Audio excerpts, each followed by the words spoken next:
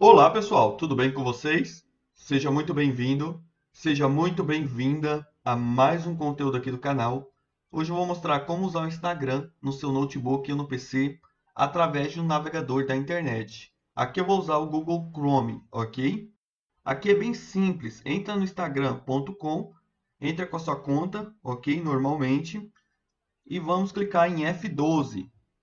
Vai abrir essa janela você vai se preocupar apenas com uma coisa aqui. Vem aqui em cima, ó, no ícone que está um tablet com o smartphone. Clica nele. Pronto. F5 agora para atualizar a página. E pronto. Aqui você pode fechar, tá, gente? Fecha aqui. E aqui já vai ter algumas funções liberadas para o navegador. Que no caso é postar uma foto, um vídeo, tá? Você não consegue algumas coisas, como Reels, como IGTV, você não consegue mexer ainda por aqui.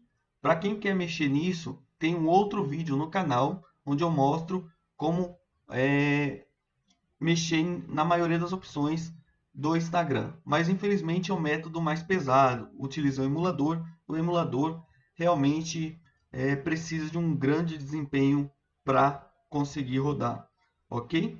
Então, para quem não tem uma super máquina, esse método aqui vai funcionar muito bem é, de início, ok? Então é isso, tá pessoal? Espero que vocês tenham gostado. Finalizamos por aqui. Forte abraço e até a próxima!